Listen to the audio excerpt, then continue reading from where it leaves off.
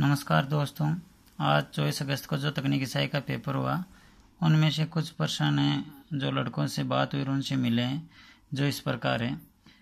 एक प्रश्न था कि विद्युत धारा का मात्रक क्या होता है? तो विद्युत धारा का मात्रक एम्पेयर होता है, जो अपने नोट्स में देखो ये रहा। विद्युत धारा का मात्रक एम्पेयर या कुलाम प्रति सेकेंड होता है। अगला प्रश्न था, ब्रिज रेक्टिफायर में डायोडों की संख्या होती है।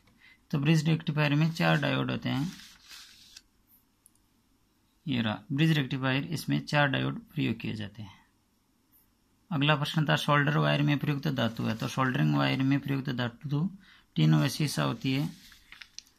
ये रहा। विद्युत कार द्वारा प्रयुक्त शोल्डर, इसमें टीन साठ परसेंट और शीशा चालीस परसेंट होता है। अगला प्रश्न था, आवेश की इकाई क्या होती है? आवेश की इकाई कुलाम होती है। ये रहा, आवेश कुलाम में। यानी आवेश कुलाम में होता है। अगला प्रश्न था, चार पोल की मोटर 1500 आरपीएम पर चल रही है तो ऐप का मान क्या होगा? इस प्रकार का प्रश्न कल भी आया था तो इसकी ऐप होगी पचास अगला प्रश्न था कि प्रतिरोधक में रजत यानी सिल्वर रंग की सहन सीमा क्या होती है? टॉलरेंस पूछी थी। तो सिल्वर की होती है टॉलरेंस दस परसेंट प्लस माइनस दस परसेंट, ये चांदनी, इसकी टॉलरेंस है प्लस माइनस दस परसेंट। अगला प्रश्न था, चार पोल लेफ़्ट वाइंडिंग में समांतर पथ होते हैं तो चार पोल लेफ़्ट वाइंडिंग में समांतर पथ, यानी लेफ़्ट वाइंडिंग में समांतर पथ पी बराबर ए होता है, या ए इंटू फ्लेक्स ये रहा। ये लेफ़्ट वाइंडिंग लेफ़्ट वाइंडिंग में समांतर पथों की संख्या ए बराबर पी इंटू फ्लेक्स यदि सिंप्लेक्स है तो पी इंटू एक डुप्लेक्स है तो पी इंटू दो। अगला प्रश्न था, विद्युतीय आग किस प्रकार की श्रेणी में किस किस आग है? तो यह है विद्युत आग डी प्रकार की ये रहा। डी प्रकार की आग विद्युत में लगने वाली आग। अगला प्रश्न था कि वह कौन सी वाइंडिंग है जिसमें समांतर पथों की संख्या पोलों की संख्या पर निर्भर नहीं करती है? यानी चाहे पोल कितना है वो, समांतर पथों की संख्या पोलों पर निर्भर नहीं करती है तो यह है वेव वाइंडिंग। ये रहा, वेव वाइंडिंग वेव वाइंडिंग में समांतर पथों की संख्या ए बराबर दो इंटू फ्लेक्स होती है। अगला प्रश्न था, डीसी मोटर की सप्लाई के टर्मिनल बदलने पर गति की दिशा पर क्या प्रभाव पड़ेगा? यदि सप्लाई के टर्मिनल बदल देते हैं तो कोई प्रभाव नहीं पड़ेगा। ये रहा इस प्रश्न का, ये रहा कि घुमाव की यदि दिशा बदलनी है तो या तो चुंबकीय क्षेत्र की दिशा बदलेंगे या आर्मेचर की दिशा बदलेंगे। यदि दोनों को साथ बदल रहे हैं तो उस पर कोई प्रभाव नहीं पड़ेगा घुमाव की दिशा में। अगला प्रश्न था, निकल आयरन शेल या एडिशनल शेल की विद्युत में कौन सा विद्युत अपघट्य प्रयोग किया जाता है? निकल आयरन शेल या एडिशनल शेल इसे एडिशनल शेल भी कहते हैं।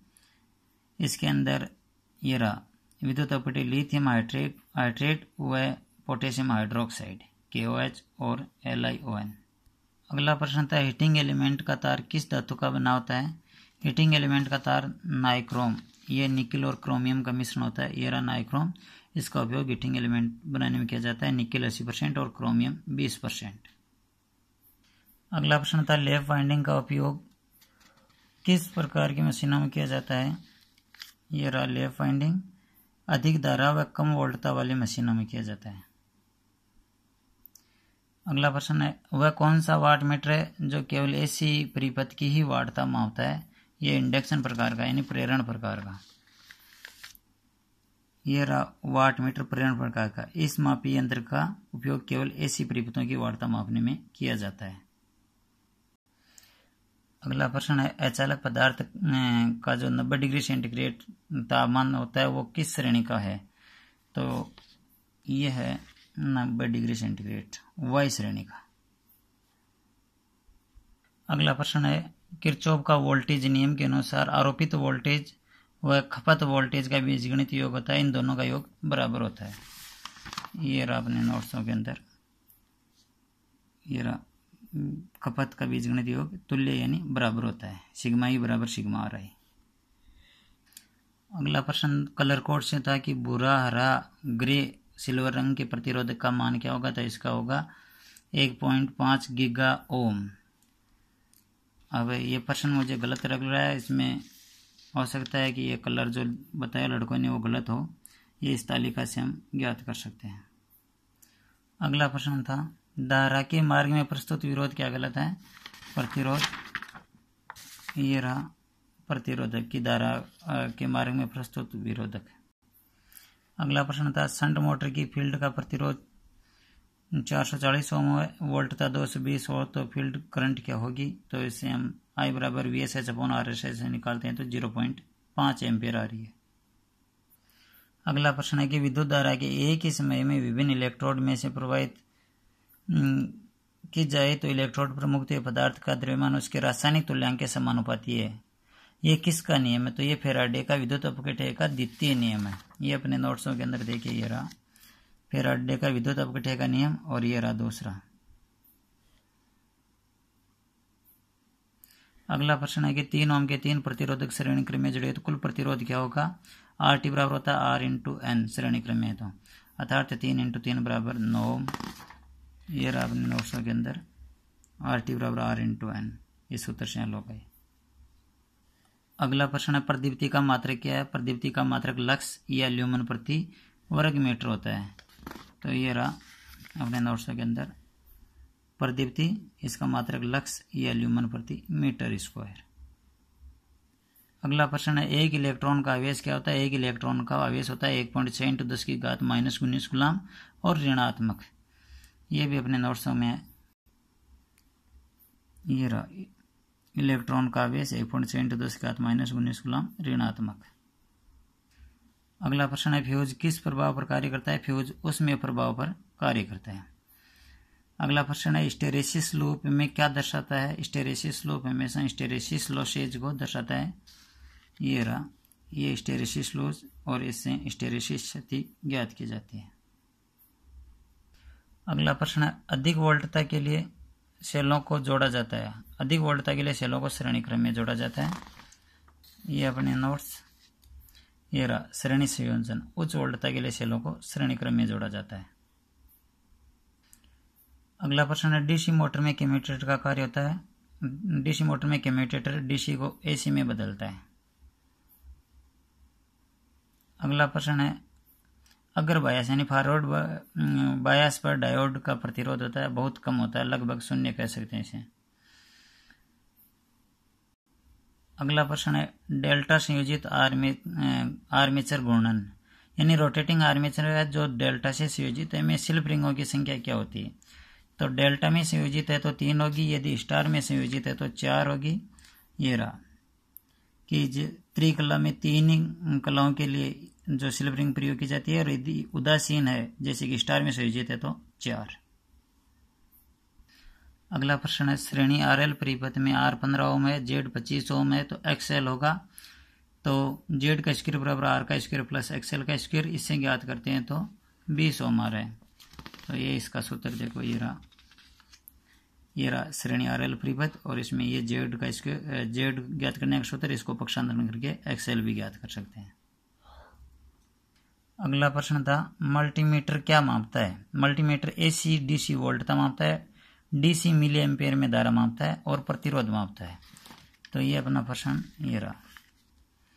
ये रहा मल्टीमीटर इसके द्वारा डीसी धारा डीसी वोल्ट वोल्टता एसी वोल्टता व प्रतिरोध मापा जाता है, इसे एवीओमीटर भी कहते हैं। अगला प्रश्न है, मापक यंत्रों में संकेतों को चलाने के लिए जो टोरक लगाया जाता है, उसे क्या कहते हैं? उसे विक्षेपण बल या टोर्क कहते हैं। ये रहा विक्षेपण बल। संकेतांग में कार्यरत विक्षेपण बल, पाठ्यांक दर्शाने के लिए। अगला प्रश्न है, फ्लोरोसेंट ट्यूब में किसकी कोडिंग की जाती है हरा रंग प्रस्तुत करने के लिए? तो हरा रंग प्रस्तुत करने के लिए जिंक सिलिकेट की कोडिंग की जाती है। ये रहा ट्यूबलाइट के अंदर जो कोडिंग की जाती है वो जिंक सिलिकेट से हरा रंग। अगला प्रश्न था, हज़ार वोल्ट के लिए किस के, केबल यानी हज़ार वोल्ट किस केबल की वोल्टता है? तो लो टेंशन केबल की वोल्टता है एलटी केबल की। ये रहा अपना ये रहा। एलटी केबल एक पॉइंट एक के यानी ग्यारह सौ वोल्ट तक की केबल को एलटी केबल कहते हैं। अगला प्रश्न है कि किस ट्रांसफॉर्मर की प्राइमरी व सेकेंडरी में टर्न बराबर होते हैं? वियोजन या प्रत्यक्षकारी ट्रांसफॉर्मर के अंदर। ये अपने नोट्स में ये रहा। यदि फिर अनुपात का मान इकाई इकाई का मतलब होता है कि प्राइमरी और सेकेंडरी में बराबर है तो इसे वियोजन या प्रत्यक्षकारी ट्रांसफॉर्मर कहते हैं। अगला प्रश्न एक अल्टरनेटर के, में खांचों की संख्या 120 व पोलों की संख्या चार है तो प्रति स्लोट जो वैद्युतिक कोण का मान होगा वो क्या होगा? तो कुल वैद्युतिक अंश होगा एक सौ अस्सी इंटू पी, यानी सात सौ बीस डिग्री, और प्रति स्लोट वैद्युतिक अंश होगा सात सौ बीस बटा एक सौ बीस बराबर छह डिग्री। तो इसका ये रहा, ज्ञात करने का सूत्र रूप। ये रहा। अगला प्रश्न है, सीरीज़ फ्लक्स व संड फ्लक्स एक दूसरे का सहयोग करें। वह कौन सी मोटर होगी? वह संचयी यानी कैमुलेटिव योगिक मोटर होगी। ये रहा नोट्सों में ये मैंने दीर्घ संड का दे रखा है, ये पिछले पेज पे वो शॉर्ट संड मोटर का भी था कि यदि श्रेणी क्षेत्र व संड क्षेत्र कुंडलन के दोनों के फ्लक्स की दिशा एक समान है तो कुल फ्लक्स इनका योग होगा और वह मोटर संचय योगी मोटर कहलाती है। अगला प्रश्न था कि सलोटों की संख्या चार, पोलों की संख्या चार हो तो पोल पिच होगा तो पोल पिच बराबर होता है, सलोटों की संख्या बटा पोलों की संख्या। और इसे एक आ रहे हैं। इसका ये जो सूत्र रूप है, ये अपने नोट्सों के अंदर। ये रहा, पोल पिच बराबर कांचों की संख्या उठा पोलों की संख्या या ध्रुवों की संख्या। ये सभी नोट्स मेरे पास पीडीएफ में भी उपलब्ध है। यदि किसी को पीडीएफ में नोट्स चाहिए तो इस नंबर पर कॉल करके आप बात कर सकते हो। धन्यवाद।